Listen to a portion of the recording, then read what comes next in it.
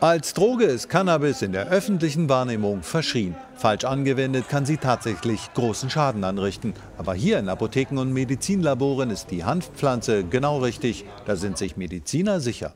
Obwohl das Fazit nach einem Jahr Cannabisfreigabe als Schmerzmittel positiv ausfällt, beklagen Apotheker und Ärzte mangelnde wissenschaftliche Erkenntnisse. Welchen Patienten hilft Cannabisblüte wirklich? Welche Sorte hilft wirklich? Und da wünsche ich mir, dass die Bundesregierung es einfacher macht, gerade für uns Apotheker, die Daten auszuwerten, um Rückschlüsse zu einer noch besseren Versorgung ziehen zu können.